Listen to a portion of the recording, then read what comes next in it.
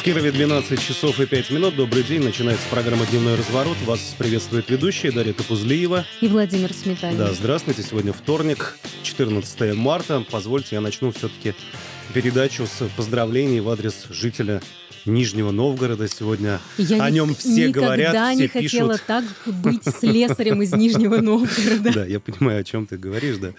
А, Да, все о нем сегодня пишут. Александр Земсков его зовут. В общем, отличился он тем, что выиграл 1 миллиард рублей в новогоднем тираже известной лотереи российской. Это второй случай, насколько я понял, в современной российской истории, когда именно вот в этой лотерее 1 миллиард выигрывает. Первый случай был в 2020 году. А, Получит на руки, ну, так на руки принято говорить, да, естественно, поменьше этот человек. Коммерсант пишет, что 850 миллионов рублей ему Да, там достанется. 150 на- налогов заплатить. Да, но 850 миллионов рублей, я думаю, что это та сумма, на которую можно пофантазировать и разгуляться. Э, Забавляет, конечно, то, что это было-то еще два месяца назад уже с лишним, да, ну вот журналисты пишут о том, что якобы Александр вместе с женой не мог поверить своему счастью, они только недавно съездили в Москву, да, и определили, а, обратились непосредственно э, в офисный центр этот, этой лотереи. А, Ну что, вот хочется завидовать белой завистью, да, но не получается, по- плохо получается, да. Почему всем все, а кому-то и абсолютно ничего? Как сказал счастливый победитель, в первую очередь он по кредитам расплатится, а во-вторых, приобретет себе новый автомобиль. Ну, пусть фантазирует. Хорошая сумма. Хорошая, да. Я думаю, можно парочку автомобилей Да. О суммах э, намного меньших мы сегодня будем говорить во втором части дневного разворота. Э, Суммы имею в виду 650 тысяч рублей и 350 тысяч рублей. Это, как известно, те суммы, которые разыгрываются в рамках грантового конкурса «Город добрых соседей». Э, Как сообщила городская администрация ранее, на конкурс поступило более 200 заявок, 197, если не ошибаюсь, прошли конкурсный отбор. Победители станут известны 31 марта, но вот тут еще в чем фишка заключается? В том, что с завтрашнего дня еще и некое голосование стартует. Народное. Народное голосование за наиболее понравившиеся объекты, где будет организовано это голосование, что оно даст претендентам на получение этих грантов, там баллы какие-то будут начисляться. В общем, ближе к концу второго часа мы об этом поговорим с представителем городской администрации, выясним. Потому что событие такое достаточно знаковое. Все это в рамках, напоминаю, подготовки к 650-летию областного центра проводится. Во втором же части поговорим о конкурсе, о грантовом тоже конкурсе под названием «Серебряное созвездие». Это совместный проект депутата Госдумы Рахима Азимова и Общество знания. Направлен этот проект на поддержку людей старшего возраста. В этом году грантовый конкурс проводится в юбилейный, пятый раз. Особенности, нюансы мы пригласили в студию непосредственных организаторов и поговорим с ними.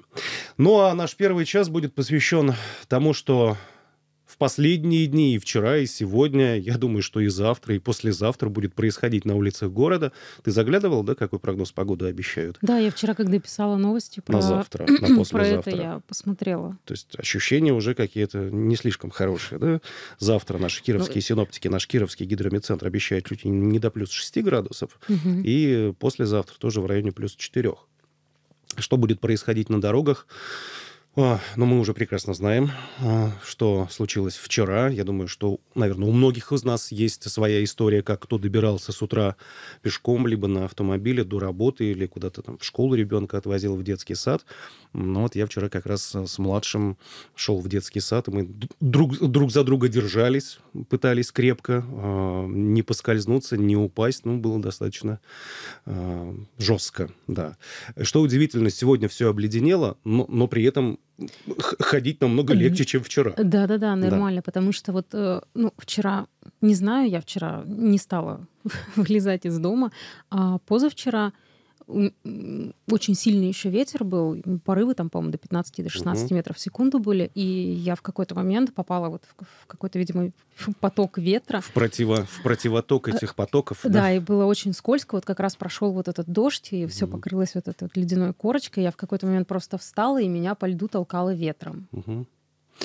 Ну, э, вчера, да, все соцсети были заполнены фотографиями, где море образовалось. Ну, это у нас традиционные места. Это э, Московская в районе метро, угу. улица Кольцова, Ботанический сад. Активно жители города выкладывали фотографии и дворовых своих территорий. В общем, пройти и проехать было достаточно сложно. На все это не мог не отреагировать, насколько я понимаю, глава администрации Вячеслав Симаков в своем телеграм-канале. Он упрекнул подрядчиков в некачественной, не в слишком добросовестной а, работе. Буквально процитирую. Подрядчикам, которые отвечают за содержание тротуаров, напоминаю, что помимо снижения оплаты за качество работы, вы еще и отвечаете а перед а законом и перед жителями. А вот смотри, города. вот интересно, да? Что вот в этой ситуации могли сделать подрядчики? Вы пить эту воду или что? А, или наоборот, нагреть, чтобы она испарилась, да? Ну, действительно, то есть это же, это же фундаментальная проблема городских улиц, да, отсутствие ливневых канализаций. Ну, либо их ну, или вернее их присутствие, либо... но их но э, ненадлежащее, там, забитое состояние, не успела Очевидно, что даже если ты еще. ее расчистил, ну, то есть, условно говоря, вот у ботанического сада же есть все равно какая-то ливневая канализация, есть. мы ее все видим, ее ведь в любом случае постоянно чистят, угу. но это не спасает от подтопления, соответственно, ее там, видимо, недостаточно, то есть какой-то просвет узкий, нужна нового, новая или еще угу. что-то. Угу.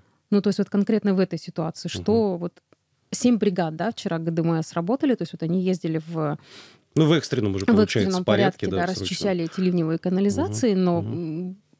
окей, расчистили, но все равно какое-то время на то, чтобы эта вода ушла, угу. ушло, угу. грубо говоря. Угу. Поэтому тут, тут, тут вопросы, да, ну то есть только ли к подрядчикам здесь вопросы?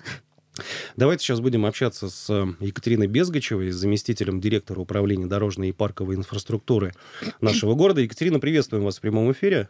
Здравствуйте. Да, здравствуйте. здравствуйте. Да, очень рады узнать из первых уст, что от вас, как от специалиста, что происходит, что происходило, что будет происходить, да, как вы готовитесь к очередному потеплению. Ну, давайте начнем с того, а, что сегодня подрядчики делают, как вы контролируете их работу. А, у нас замерзло. Сегодня, соответственно, да. видимо, приш, пришлось э, посыпать, в первую очередь, тротуары реагентами. Как сегодня работа складывается? Расскажите, пожалуйста. Все верно, да. именно так. Вчера у нас было такое потепление хорошее, у нас образовались традиционные лужи в тех самых местах, которых ежегодно образуются. Вот. Сегодня э, с ночи у нас где-то с 12 часов ночи пошел активный минус, все это подморозило. Максимально подрядчики, где отвели воду э, и промели, там подморозило и не образовалось никаких э, вот этой шуги, никакой наледи. Э, сегодня активно проводят работы именно, вот как вы указали уже, по обработке. Это и проезжей части, и тротуары, и проводят их различными способами, то есть э, где-то используют галит, где у нас э, скрытые тротуары, где там до брусчатки или у нас до асфальта скрытый, где-то обрабатывают все-таки пескосоляной смесью, где-то отсевом дробления горных пород. То есть в зависимости от покрытия сейчас тротуара, то есть где-то уплотненный есть снег, где-то скрыто, обрабатывают по-разному, но акцент именно у подрядчиков сейчас на этом на обработке. Угу. Традиционно у нас центральные улицы, да, в первую очередь входят в список мест, где, да, которые, которые нужно обработать. Конечно, начинаем всегда с тех мест, где у нас большой трафик людей, и именно там работает реагент, э, более интенсивное движение, оно всегда образовывает у нас такую кашу, которую необходимо сметать. То есть на этих участках мы проходим не раз, не два, по нескольку раз за, за сутки. Вот. Если в целом говорить по городу, то вот с ночи подрядчик э, целый цикл уже прошел по обработке тротуаров. Сейчас они идут уже по второму, где-то местами, как я говорила, уже и по третьему циклу, это в основном центральная часть часть. Вот. Э, кстати, были вот тут вот жалобы именно, что не обработаны какие-то улицы, то есть что не видно, что есть обработка. Бывает так, э, когда обрабатывают галитом, так как он у нас э, не имеет определенного какого-то цвета, и люди думают, что не обработано. А, а его незаметно просто, да? Да, да. Mm-hmm. По факту мы идем и чувствуем, что уверенно можем идти по тротуару. Вот. А, Екатерина, вот э, вчера упомянула я уже, что 7 бригад э, ГДМС э, работали, расчищали ливневые канализации. Вот с учетом завтрашнего опять потепления плюс 6, по-моему, да, обещают. Угу. То есть, видимо, опять начнется активное таяние снега. А, поможет вот эта расчистка, то, что прочистили ливневые канализации, или все равно подтопление не избежать при, такой, так, при таком высоком подъеме, подъеме температуры? Угу. Ну, смотрите, у нас в любом случае, да, подрядчик, э, во-первых, заблаговременно они выходят, расчищают вот эти все у нас подходы к ливневкам, чтобы у нас а, вода уходила туда, когда у нас, соответственно, тает все. Вот. И во время, то есть, а, когда у нас а, такой переход на потепление идет, у нас образуется вот эта шуга, которая тоже забивает вот эти вот а, отверстия в решетках, в дождеприемных, а, колодцы, и вот этот мусор иногда попадается. То есть это в любом случае они еще во время вот этой потайки тоже приезжают на место и все это прочищают. И таких мест у нас в городе очень много. Я думаю, что э, нам, на, как это сказать, что полностью от луж нам не избавиться, что это у нас такая, ну, все-таки стихийное такое мероприятие, что резкое такое потепление, объем у нас воды большой от этих осадков, то есть снега много, несмотря на то, что мы его вывозили на протяжении всей зимы. Вот. Но есть места, где у нас и снег до сих пор э, складируется, и понятно, что он будет таять, и вода будет будет, вода будет, да. Вот. Но стараемся максимально подрядчика направляем, корректируем. Э, все места эти известны, поэтому совместно mm-hmm. с жителями нашего города, которые доносят до нас информацию, в том числе более еще оперативно бывает иногда, чем наши мастера или кураторы доезжают. Поэтому я думаю, что мы справимся с этим. Ага, Екатерина, смотрите, да, ну с машинами понятно, ну есть там определенные mm-hmm. опасности, да, для транспортных средств, но тем не менее вот были вчера, например, перекрестки, которые, а, ну ногами не перейти. Ну вот для да, пешеходов, были, то есть нет, вот нет никакой возможности. Здесь э, в этом плане будет какая-то работа вестись. То есть если вы говорите, что эти места известны, да, где подтопления будут, их невозможно будет избежать, возможно, я не знаю, ну вот как в вересниках там, да, вот эти бросают э, деревянные какие-то настилы, еще что-то, ну то есть чтобы как-то пешеходы там угу. могли перемещаться. Да, да, да, об этом тоже вчера обсуждали. У нас э, с подрядчиками тоже есть э, чат, в котором мы обсуждаем, как где лучше сделать. У нас такое есть место одно на улице Ленина, где вот переход у нас через реку Хыновку в районе улицы Блюхера. Вот там вот тоже вчера несколько раз мы... Низина, да, я, так называемая. Да, проезжали, и там получается мало того, что проезжая часть у нас подтапливается, но вода уходит. Но тротуар, так как он ниже уровнем, на нем вода идет, и то есть людям просто невозможно там пройти. То есть в таких случаях э, я думаю, что лучше временно там эти поддоны раскладывать, э, делать эти деревянные настилы и временно, чтобы было такое покрытие. То есть здесь для решения проблемы нужны более такие капитальные, серьезные меры, это как э, ремонт тротуара этого полностью, да, то есть там подъем уровня, чтобы у нас понятно, что вода будет там, где низко. Вот, поэтому такие меры уже будут в строительный сезон приниматься. Где-то требуется трубу заменить, где-то требуется расширить диаметр, то есть э, очень много ремонтных работ нам предстоит в текущем году, поэтому постепенно. Кстати, в том году у нас тоже такие, ряд э, таких мест мы сняли э, вопрос, это как у ботанического сада, вот не знаю, заметил кто-то, не заметил, но вот вчера ботанического сада не было такого озера, как оно, оно было в том году. А, а мы так этом, привыкли. А в этом году, Екатерина, где будут э, работы вестись на вот этих вот ливневых стоках? Реконструкцию мы виду, никакой нет, да? Ну да, то есть там ремонт, это обычно ремонт именно вот этих решеток, увеличение диаметра вот этих водопропускных труб, то есть это уже в тему ливневки мы уходим, а, как раз-таки она смежна у нас с темой содержания, поэтому сейчас определяется как раз-таки этот перечень мест, то есть что, что важнее, что мы можем в этом году сделать. Вот, поэтому сейчас на данном этапе это еще определяется, потому что будет дополнительное обследование у нас проведено весной, потому что за период зимы могли какие-то изменения произойти, и работ предстоит больше сделать, например, чем это было бы, если бы мы делали в том году. Вот, поэтому вот дополнительное обследование, и после этого определим на лето, какие участки мы будем ремонтировать в этом году. Угу. Но обязательно такие участки будут. А, слушайте, я помню предыдущие годы, так традиционно городская администрация в марте, ну, примерно нас информировала о том, что несколько бригад ГДМС выходят заранее на прочистку ливневой канализации. Там специальная машина, бочка, угу. вода под напором, по-моему, даже теплая вода. Вот да, это они промо. Да, да, да. В этом году они успели хотя бы что-то сделать вот до этого потопа конечно, вчерашнего, да, успели? Конечно, успели, угу. да. То есть работы начали предварительно проводить, как вот тоже уже указывали, что как раз это вот потепление. В принципе, не сильное было потепление, но вода хорошо очень так у нас, и лед так подтаял, было много, много воды, вот, и ГДМС, конечно же, они с этой со своей установкой ездят и делают, и также другие подрядчики просто даже вручную пытаются и пробить лед, и да вообще дойти до этих решеток, потому что где-то они просто во льду всю зиму, допустим, были, были закрыты, и сейчас их скрывают, находят, потому что они никуда не делись, вот, а промывают, да, конечно, это без проблем. В ГДМС есть такая установка, они работают. Еще вопрос, но тут, конечно, Вячеславу Николаевичу лучше его задавать. Что интересно он имел в виду, написав у себя в канале, к сожалению, на текущий момент должного подхода к уборке со стороны подрядчиков я не вижу. Это он вчера написал. То есть претензии угу, были, как, видела, да. да, претензии были какие-то. В чем, в чем их суть? В оперативности ну, работы, в недостаточности, в чем? Ну, я думаю, что как бы мы с ним тоже вчера разговаривали на эту тему, что город нужно ну, держать на контроле, так как действительно э, это неприятная ситуация, когда у нас нет возможности пойти по, пройти по тротуару, да, в спокойном таком режиме, в безопасном, не uh-huh. думая, что кого-то обрызгает. Вот, поэтому э, указано было на это, чтобы да, была оперативность, чтобы усилить именно количество вот э, людей, которые вручную это все очищают. То есть понятно, что вода течет, все это забивается, чтобы оперативно это снова очищать. То есть от этого никуда нам не деться, да, что у нас вот эта шуга идет, она забивает это все, это нужно прочищать и прочищать. Понятно, что есть Некоторые проблемы с ливневой канализацией, все как бы об этом знают, мы это не скрываем, мы с каждым годом стараемся улучшить наше и количество, и качество этой ливневой канализации.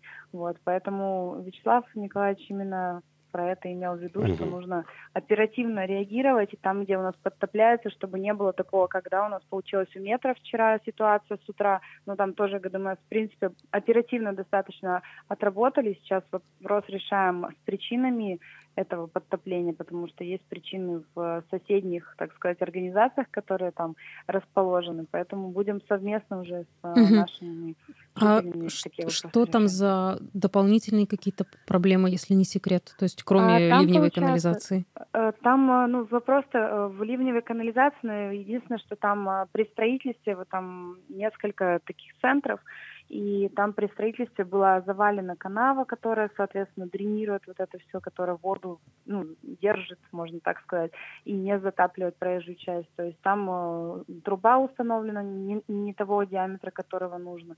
Вот сейчас этим вопросом разбираемся, в том числе, чтобы в летний период ее, возможно, переложить и поставить ту трубу того диаметра, который необходим. Там, то, есть, то есть это, это возможно, да, э, исправить? Угу. Это не какие-то там фундаментальные... Конечно, конечно. Да, да, да. То есть у нас даже есть э, по Кирову, в принципе, список таких мест, что вот здесь там требуется перекладка трубы, например, ну какие-то объекты, да, э, требуется там ремонт или перекладка коллектора. То есть очень очень много нюансов, очень много деталей, которые необходимо исследовать, чтобы принять меры такие, чтобы потом это не исправлять в очередной раз, чтобы угу. исправить раз и навсегда. То я правильно, Екатерина, понимаю, что там э, раньше была э, какая-то труба, и через эту трубу в некую канаву эта вода уходила с проезжей части, и она там не скапливалась? Да, там ну, ага. проблемы такой не было. Там проблема в том, что вот именно завалили одну из канав, вот там глубокие такие канавы есть, угу. у них такой ивняк еще, ну и ивы такие угу. мелкие, мы их ежегодно тоже убираем оттуда, а, вот. И одну из канав таких завалили, и, соответственно, в воде бежать некуда, и она, соответственно, идет через верх, через проезжую часть. А ее завалили-то а про- там... просто так получилось или по каким-то причинам? Ну, я думаю, что это, видимо, при строительстве вот э, там организация определенная, которая расстраивается, все равно, все равно район, город расстраивается на сторону как раз-таки Башарова, поэтому при строительстве, видимо, не все учли, видимо, и вот так получилось. Поэтому будем разбираться там и с границами, и совсем еще вот как раз в весенний период. А, да, я дум... Потайка только началась. Да, я думаю, тут, э, знаете, Екатерина, еще о ком не бесполезно вспомнить, о жителях эм, пригорода, сельских территорий, да, где много частных домов, многочисленные поселки, поселения. Там ведь тоже, ну, раз уж у нас паводок, прям на подходе, тоже там создаются ситуации, когда вода тает, и где-то нужно канавы в непосредственной близости от частных домов про прочищать. Эта работа уже проводится или в ближайшее время да, ориентированы будете? Планируем в ближайшее время начать. Как раз-таки завтра встречаемся с подрядчиками у нас в управлении дорожной парковой инфраструктуры именно на эту тему, что а, чтобы готовили уже, переоборудовали некоторую технику, чтобы прочищать вот эти канавы существующие. У нас есть а, такие проблемы, это в Лосево, Слобода, uh-huh. недавних таких. У нас есть а, проблемы на выезде, как в сторону аэропорта ехать, это улица Щерса, которая у нас переходит в трассу там тоже там есть низкое место, тоже знаем, что топит. То есть такие места знаем, мы их в первую очередь будем прочищать эти канавы, углубления какие-то делать, чтобы максимально было комфортно, чтобы вот именно частный сектор тоже у нас не страдал от э, такого, ну, сезонного, можно сказать, uh-huh. мероприятия, как Потайка. Uh-huh. А, есть у нас еще несколько минут, и давайте еще раз проговорим, э, на что дорожные службы будут ориентированы в связи с ближайшим очередным потеплением. Все-таки плюс 5, плюс 6, которые нам обещают завтра. Я не знаю, угу. на самом деле, может, окажется и все гораздо лучше, да, около ноля. Да. Но, но все-таки на чем в первую очередь будете сосредоточены? Вы, подрядчики, в ближайшие сутки, двое? Э, чтобы а, ну... и учесть замечания, которые у нас вчера в понедельник возникли, чтобы не такими скользкими у нас тротуары оказались. Да. А, что будете думаю, предпринимать? Да. Отметить можно положительный момент, да, что у нас светит солнце, и все-таки у нас снег тает, все-таки вот эти объемы снежных масс, которые у нас еще остались после такой снежной зимы, и я думаю, что снегопады у нас еще не закончились, они будут обязательно. Вот, э, это положительный момент. Из отрицательных, да, вот э, с учетом тех э, этого опыта, который у нас сейчас вот был при этой потайке, подрядчиком опять-таки и завтра, и каждый день мы с ними на связи находимся, будем говорить о том, что смотрим за решетками, за дождеприемными, за низкими местами, там, где у нас э, скапливается снег, там, где у нас э, закрываются наши вот эти решетки, чтобы их своевременно прочищать, отводить воду, где возможно, в грунт, то есть это просто да, на обочину выводить, э, чтобы не допускать э, вот этих вот образования на треугольниках видимости вот этих масс, чтобы по возможности у нас еще есть некоторый объем на снеговывозку, то есть те места, где у нас понижение, где можно еще вывести снег, чтобы он там не таял и не создавал вот эти огромные объемы луж, чтобы такие места тоже у нас вывозились. Вот. Э, и, конечно, огромный акцент это на тех местах, это на пешеходных зонах, на тротуарах, на обработке, на именно на посадочных площадках, на подходах к пешеходным переходам, потому что все это водой еще обмывается, еще сильнее обледеневает, и это нужно э, чаще проводить эту обработку и смет, э, ежели у нас мы проводим при снегопаде. То есть снег, снег у нас он все-таки снег, а здесь все-таки вода и лед, и поэтому очень опасная ситуация создается. И там, где у нас до брусчатки, до асфальта скрыто, покрывается коркой, надо вовремя обрабатывать и сметать.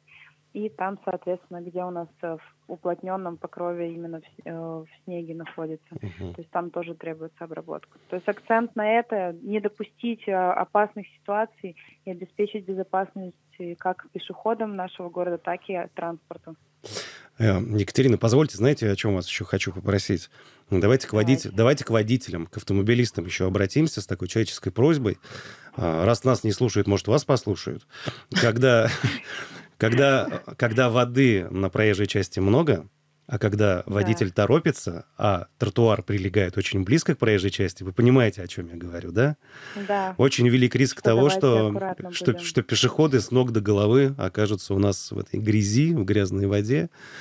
Э, и вчера такой я видел прекрасно. Ну вот летит он в правом ряду, и ну, вот абсолютно прав... ему вот пофигу. Да, да, и все это разлетается, весь тротуар э, заливается этой грязной водой. Вот да. Попросите, пожалуйста, водителей быть да, внимательными. Да. да, уважаемые водители, пожалуйста, будьте аккуратны при езде на проезжих частях соблюдайте обязательно режим. У нас работают камеры фото-видеофиксации, не забываем об этом. Вот, и нужно максимально аккуратно и с огромным с огромной толерантностью и любовью к нашим пешеходам, потому что мы все когда-то пешеходами становимся и на транспорте на общественном ездим.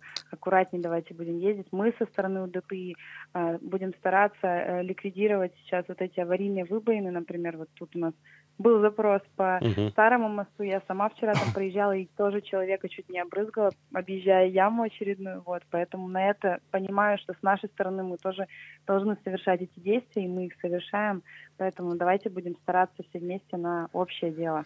Спасибо, Екатерина. Екатерина да. Безгачева, угу. заместитель директора управления дорожной и парковой инфраструктуры Кирова, рассказывала нам о том, как вчера боролись угу. с последствиями потепление. Но да, все еще впереди, все еще впереди. Все, все в общем, да. вместе, да, да, и завтра, скорее всего, это все продолжится. Мы уходим сейчас на небольшую рекламу. Через полторы минуты продолжим. Продолжается программа «Дневной разворот». Дарья Пузлеева. Владимир Сметанин. Да, мы говорим о ситуации на дорогах областного центра, на тротуарах. Вчера плюс, сегодня минус, завтра да. снова нам обещают плюс. Глава администрации Вячеслав Симаков предупреждал в том числе подрядчиков, о том, что эти температурные качели нужно э, в этот период нужно да, держать в ухо востро и э, стараться не допускать аварийных ситуаций. Э, на самом деле, узнаем только завтра, да, если будет потепление, что же там конкретно будет у нас на улицах нашего города происходить. Ну, пока вот смотри, да, учитывая, что ливневая канализация у нас в том состоянии, в каком она есть, и на то, чтобы ее все равно отремонтировать, нужны средства, и средства немалые, возможно, где-то нужно ее там заново прокладывать. Да, Екатерина вот сказала, что в этом году есть, э, будут какие-то работы запланированы, но, как мне кажется, часть этих проблем можно было бы э, снять, увеличив объемы снеговывозки, да? То есть меньше ну, снега, понимаю, логично, меньше, да. меньше, меньше лежит снега, меньше, меньше воды. тает, меньше жидкости. Угу. Константин Сичихин с нами на связи, руководитель группы общественного контроля за ремонтом и содержанием дорог. Константин, добрый день. Добрый день. А, Константин, пообщались мы сейчас с Екатериной Безгачевой, заместителем директора управления дорожной и парковой инфраструктуры. Ну, какой можно вывод сделать со слов Екатерины? Подрядчики стараются, работают изо всех сил, можно даже сказать, но то, что мы видим, это, конечно, нас печалит. Вас тоже печалит? Ну, конечно, как и всех жителей города Кирова.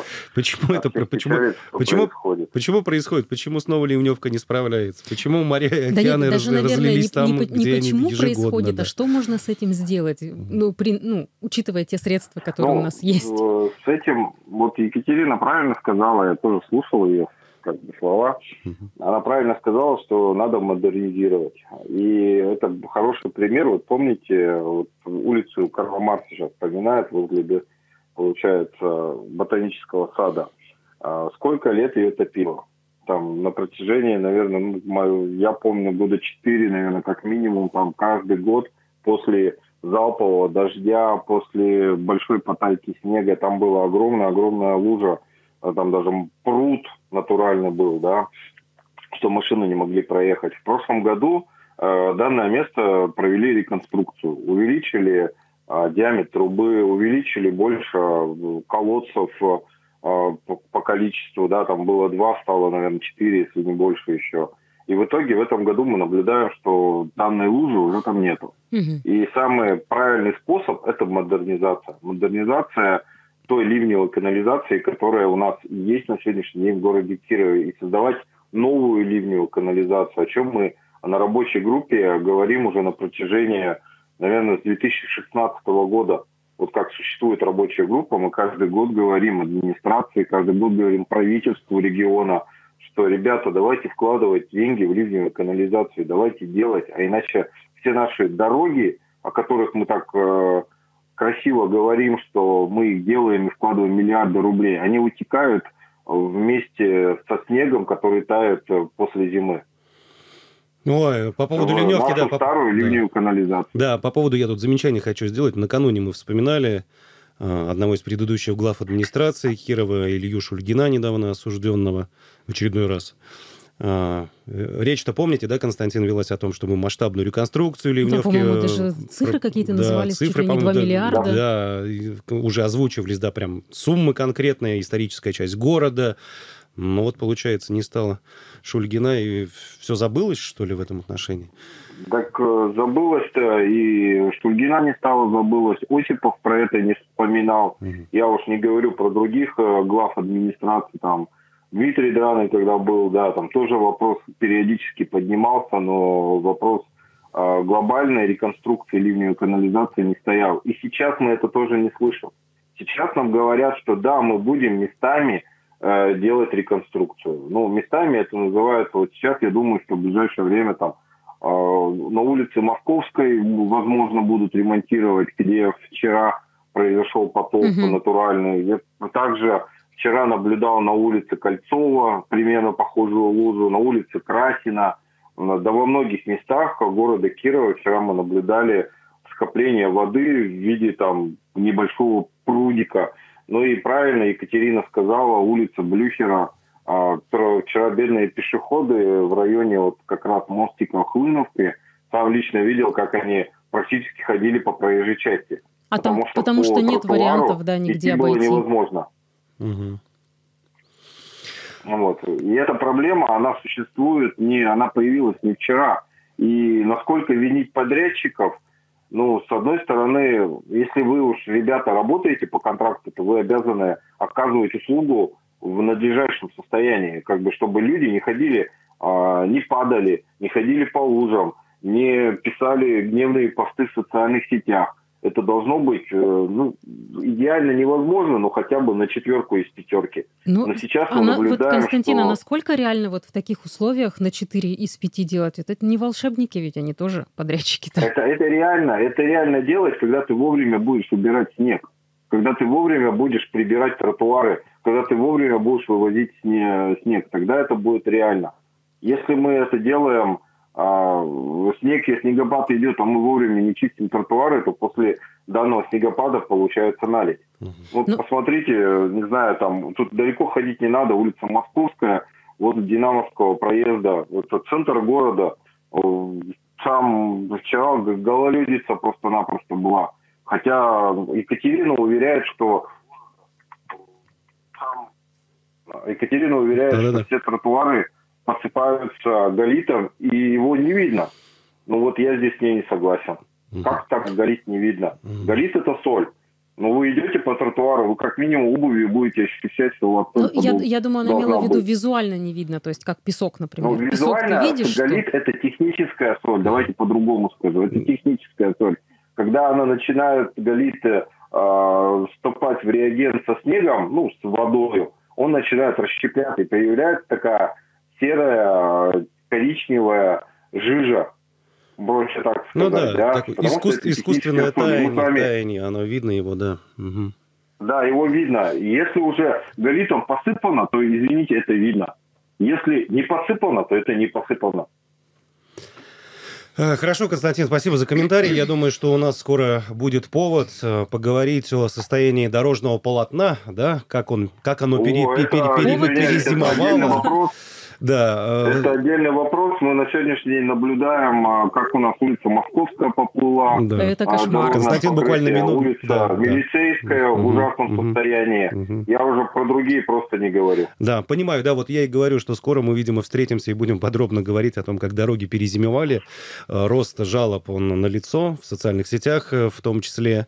При этом те дороги, которых да. мы упомянули, их в числе тех 45, о которых угу, накануне угу, доложила администрация, угу. которые к ремонту, их нет. Ну и, видимо, в этом году снова будет перед общественниками в том числе стоять задача большая э, добиваться гарантийного ремонта, да, потому что дороги-то свежие абсолютно, чуть, а, а все уже. Да, Константин, спаси, спаси, спасибо большое. Да. Заверш... Да. Завершаем спасибо. эфир. Константин Сичихин, руководитель группы общественного контроля за ремонтом и содержанием дорог. Первый час с разворотом мы на этом заканчиваем. Владимир Сметанин, Дарья Тапузлива. Через 20 минут вернемся.